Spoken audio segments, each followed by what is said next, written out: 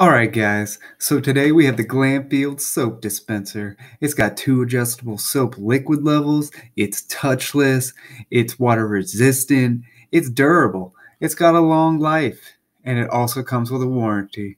Alright, let's get into it.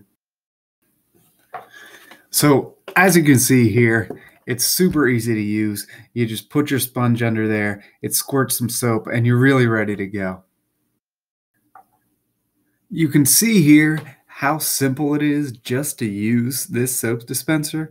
There's no messy opening a bottle, pouring it on the sponge, or anything like that. You just put your sponge right under it and it squirts whatever you want. It's great.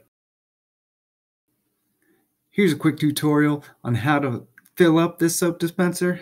As you can see how easy it is. Go ahead and snag your own soap dispenser using the link below in the description.